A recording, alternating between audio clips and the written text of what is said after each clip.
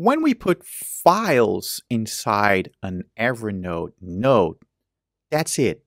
We don't have to worry where those files are. They are there. They are inside the note. However, when you import your notes from Evernote to Obsidian, you end up with something like this, a files folder with the files.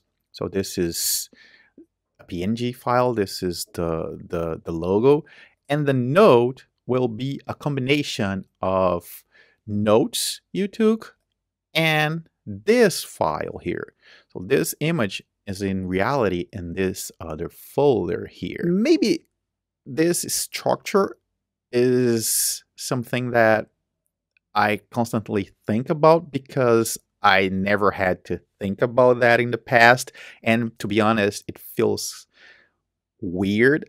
It doesn't feel intuitive to to have things like this, but I don't see it being uh, I don't see how it could be done in a different way because this is how technically uh, technically speaking Obsidian works. So there's no way around this. But the other day I was here thinking, and maybe we don't need to have notes for everything. Maybe I'm trying to create notes for everything because I'm coming from a different mindset, from the Evernote mindset.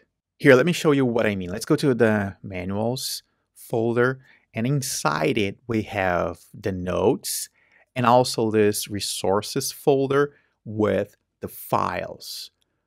But why do I need this note if all the information is already in this JPEG?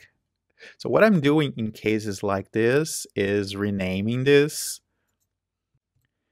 moving this file here, and deleting this note. There's no need for this note. All I need is the information. And sometimes I already have the PDF like here. So all I have to do is move this here. Then I can delete this. And this is not only true to manuals. There are many situations where this will apply. For example, if I'm reading a paper and that paper is in PDF format, why would I need a note only if I'm taking notes, right? Then I would create a note and maybe drag that PDF inside that note and take my notes and have everything together, the PDF and the note. But if I'm only reading it, why would I create a note. this is it for this one. I just wanted to share this click moment with you. Maybe you're going through the same thing there and this information will be helpful. If it was helpful, I'd appreciate a thumbs up. And if you like what I do here on the channel and want to help even more, please consider joining my Patreon or becoming a YouTube member. You'll find the links below.